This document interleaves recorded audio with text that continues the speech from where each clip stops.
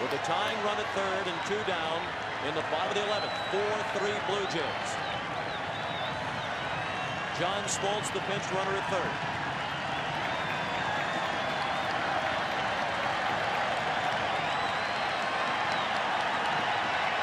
Timlin. Nixon bunts. Timlin on it. Throws to first.